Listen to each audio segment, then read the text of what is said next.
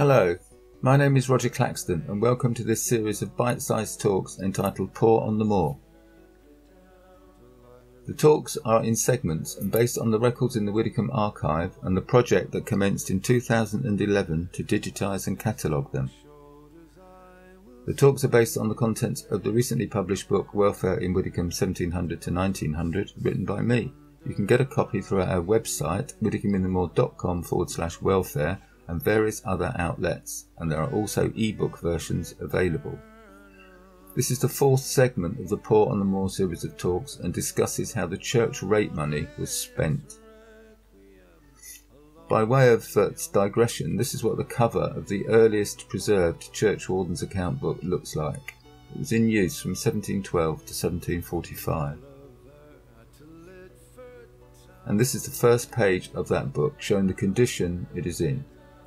I have to say this that this is not typical of the account books in general, which are in overall good, pretty good condition. You will see this from some of the images I'll be showing shortly. Okay, so how was the church rate spent?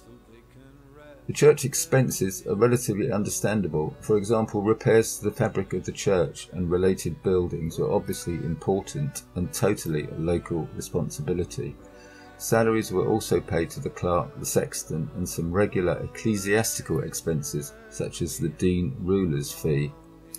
Also included were the day to day expenses of the church for conducting services such as bread and wine, washing and cleaning, annual dinners, etc. So here's an example from the 1805 accounts.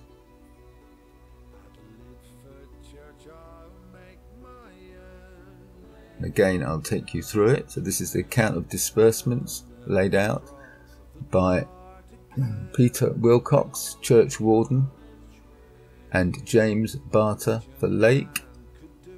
In generally speaking, when they mention the church wardens, they say which property they were associated with.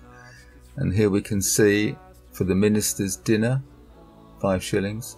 The old and new church wardens' dinners, eight shillings for the book articles and fees of the court, eight shillings and eight pence. I think this is a sort of annual expense. The dean rural's fee, two shillings, another annual expense. The clerk's salary, four pound four shillings.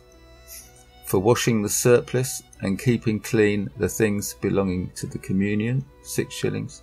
And for bread for the sacraments, two and six, etc. Okay, we can now look at another example. This shows the cost of wine that was used for the sacraments. Here we can see for five gallons of wine at one pound two shillings per gallon, five pounds ten shillings, and carriage of the same five shillings. So quite a lot of money spent on wine, although I think that probably lasted a year or so. And now we can look at yes another example from the same year. All these are available, by the way, at widecombearchive.org.uk forward slash welfare if you want to look at the complete page and the complete transcript. And here we can see Mr. Langdon, Langdon's bill, two days to Manaton, with one horse drawing timber. That was eight shillings and paid for beer for the workmen at Manaton, one shilling. Two days taking down and drawing up timber in the tower, three shillings.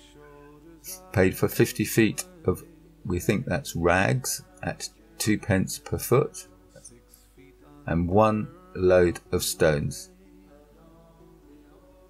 Interesting what they had to purchase and how they had to get hold of it. I travel all the way to Manaton to get uh, some timber to repair the church tower.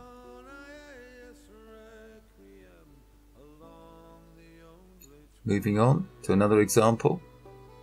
Music was a very important part of church services, and here we can see a payment to Mr. Colander for 17 journeys instructing the singing.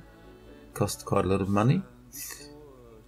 And for new hairing the bow of the bass viol, another three shillings. And there are many, many more uh, examples in the accounts. And I mustn't forget to mention that John Pot- Potter was paid for tuning the clappers as well. Okay, that's the end of segment four on spending the church rate. Thank you for watching and listening. I hope it's given you some ideas of how the church rate was spent. Stay tuned for the next segment, which explores how the poor rate was spent on the poor. Thanks for listening.